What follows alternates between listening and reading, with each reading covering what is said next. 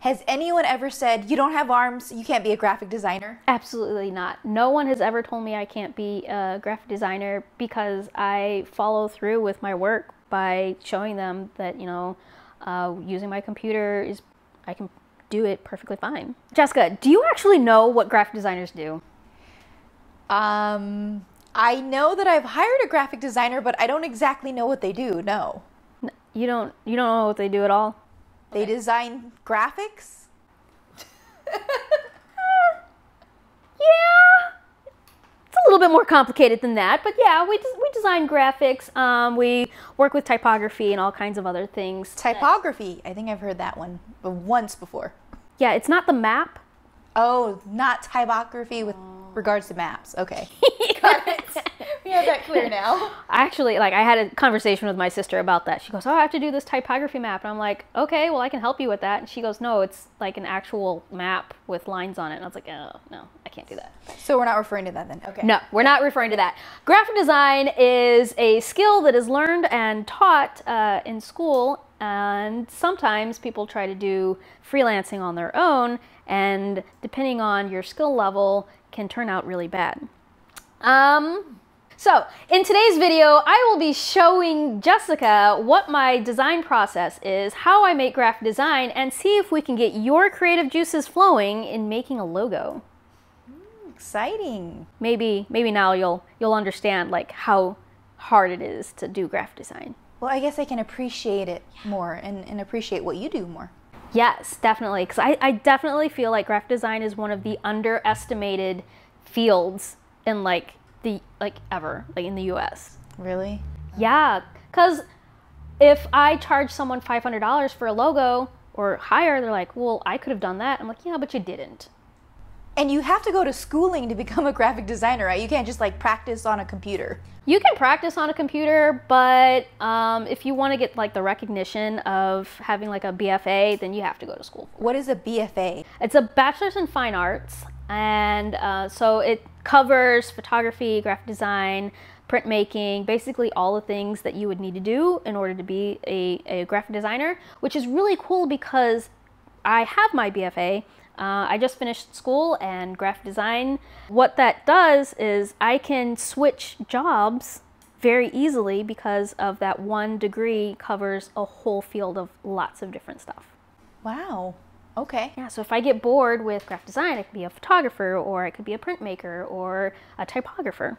Does it make it a little more challenging when you're doing all of this with your feet without arms? I'm always curious about that. Uh, it doesn't really make it too hard to, to do things with my feet, but I do have like a little bit of adaptations and stuff. But we can definitely go over that when I show you uh, how to create a logo with an iPad. Yay, I'm excited. I know. Uh, Jessica's been really excited about using a, an, an iPad with the iPencil, and uh, I was doodling on it earlier, and she was like, "Oh my god, not now! I need one." So Yeah, I know. Because first of all, I didn't know they had an iPencil. I know they had a stylus because I have a stylus, but I was like, that looks more like a pencil. And you're like, it's an eye pencil. it is. So when I first started uh, with graphic design, I was not very good. I mean, any with any field, you're gonna have to practice, and I practiced a lot. But I brought with me today some of the works that I did when I was working on my associate's degree. And looking at it now, like I'm gonna show you this. This is uh, what my resume looked like. But what do you think of this? I'm looking at that and I think it looks pretty darn sharp. It has a logo, it has this beautiful font, it's very organized so I can read through it clearly. Garbage. Garbage! garbage. My teachers threw this out. Like once I got into my bachelor's program, they're like, "No, you cannot do this. This is your typeface is too old. Uh, you've got bad, you know, type rags, and uh, there's not enough hierarchy in it." So they they threw it out.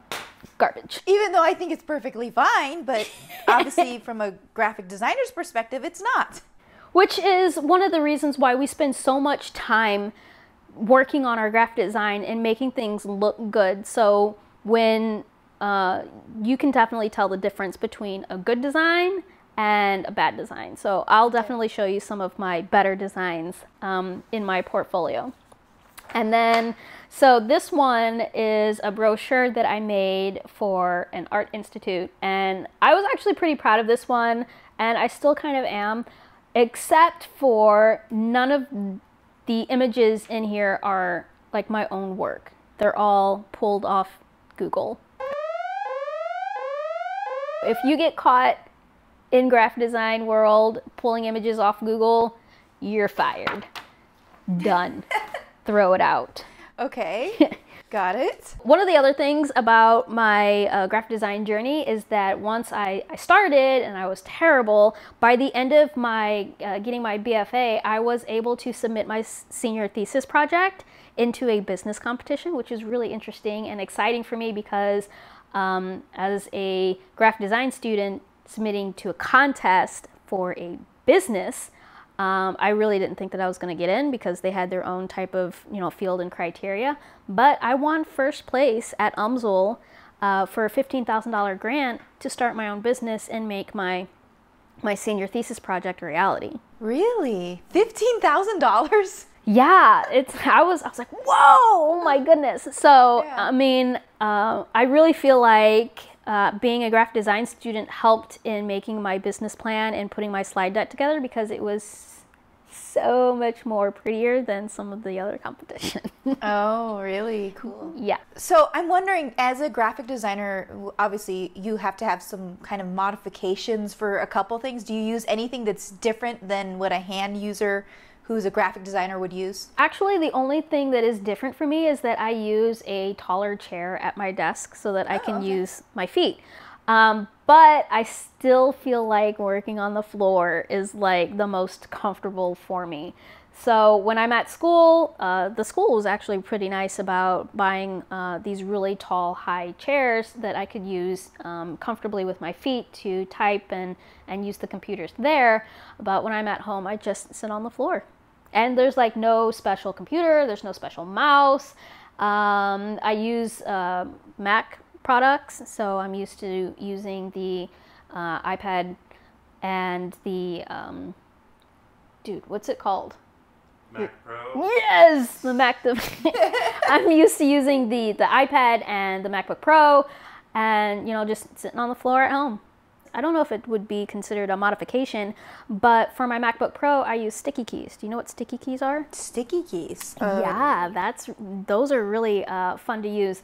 So basically, if you need to use the Shift uh, C or Command C to, to copy and paste or you know shortcuts, mm-hmm. you would have to hold them both down at the same time, you know, with your fingers. And yes. sometimes you would have to use like three or four buttons, you know, hold them down at the mm-hmm. same time. But the sticky keys uh, will actually allow me to press one at a time and it will literally like stick that command down until I'm finished either copying or pasting or uh, using my shortcuts. Got it. So I'll show I'll show you how to use that in, on your on yeah, your MacBook. so make use of that. Yeah. So are you ready to to see how we can start making your own logo? Yes, I'm excited about my own logo. Okay. So, guys, I'm going to show Jessica how we are going to do her own logo. How does that sound? Let's do it. All right. Okay, so um, let's get started and I'll show you how to use an iPad Pro to make your own logo. So what program are we using to start these designs? Like, what do you use? I like to use uh, my um, Illustrator Draw app which means that once I'm finished drawing something out, then I can immediately import it onto my computer and use my designs on the computer and print them out. So basically you have you have your pencil and then you can draw whatever it is that you want to do. So I heard that you wanted to do something for your foundation? Um, actually, I was thinking of doing something for uh, the business that I run, my uh-huh. speaking business, and it has to do with a shoe. Okay. I know. It's the whole concept is is to think outside the shoe. What's the name of the company? Let's start there. The company name is Jessica Cox Motivational Services. Okay. Uh, starting off with a shoe, we can draw like a shoe print type. Okay. And now you have a vectorized shoe print or you could do like a, a side view of a shoe. See, that was my first thought was a profile shot of the shoe. Uh, that was interesting how you immediately thought of the print, which is cool. So I'm thinking maybe, yeah, there you go, there you go. With the laces really um, kind of drawn out there, I like that. Okay, and then maybe something underneath. So just use your iPad and see like what types of things you can come up with. Let's just let's just draw some stuff out and see what you come up with. Okay. um, See how basic I'm talking? We're talking laces. And I'm just working like really sketchy. Well, what's cool about this is that if if you do decide to like design more things and like take the time to like draw some stuff out, when you do take your images to you could take all of these to a graphic designer and say this is what I was kind of thinking, this is my concept and then have them refine it even more. Mm-hmm. Gotcha. Graphic designing, you know, logo of start, starting somewhere, and here we are. Thank you for the experience. So, guys, I want to ask you, what do you think of these logos that we created for Jessica's new uh, company? Uh, leave us a comment below. And if you are interested in watching more videos, definitely hit that subscribe button and ring the bell so that you get the notifications on when we upload new videos. And we made a video a couple of months ago of us painting. So definitely check that out, and we will leave um, a link to it so that you can click on it. Don't forget to go to Patreon Oh, yeah. Patreon.com. slash Toe Talks and subscribe to that too to help us produce more because after all, in order for us to get together, you're in St. Louis, I'm in Tucson. It costs money to get together, so please help us out with more production uh, costs to make this possible. Thank you so much. You think you're going to do more graphic design? If I have the time, yes. It's exciting. Thank you. Well, I definitely think that this will uh, show like the appreciation of how much work and time we put into to the things that we do. It will. All right, guys. Talk to you later. Bye.